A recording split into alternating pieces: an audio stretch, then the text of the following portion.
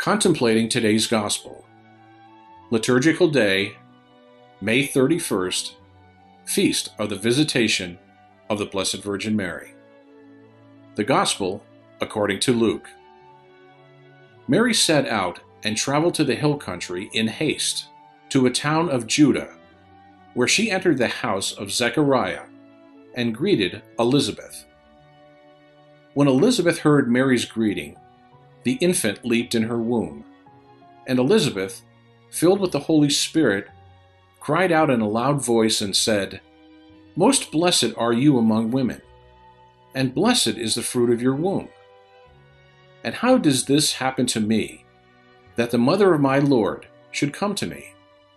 For at the moment the sound of your greeting reached my ears, the infant in my womb leaped for joy.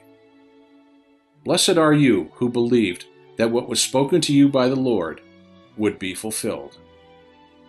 And Mary said, My soul proclaims the greatness of the Lord. My spirit rejoices in God my Savior, for he has looked with favor on his lowly servant. From this day all generations shall call me blessed. The Almighty has done great things for me, and holy is his name. He has mercy on those who fear him in every generation. He has shown the strength of his arm. He has scattered the proud in their conceit. He has cast down the mighty from their thrones, and has lifted up the lowly. He has filled the hungry with good things, and the rich he has sent away empty. He has come to the help of his servant Israel for he has remembered his promise of mercy, the promise he made to our fathers, to Abraham and his children, forever.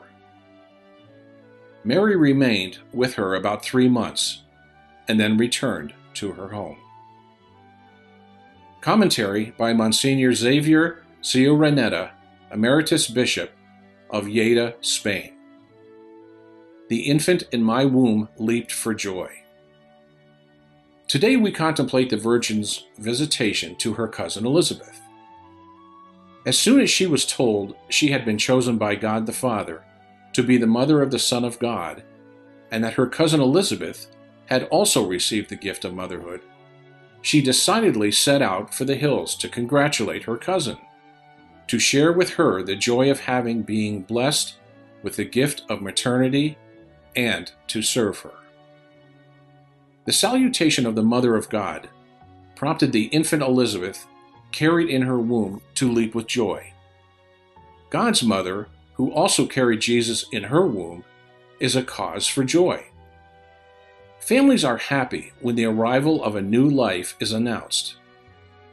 Christ's birth is certainly good news of great joy. And yet, these days, motherhood is not duly prized. Quite often, other interests, which are an expression of convenience and selfishness, are opposed to it. Parental love implies an eventual renunciation. This scares many married couples who perhaps should be more generous with the goods they have received from God by saying yes to new life in a more responsible way.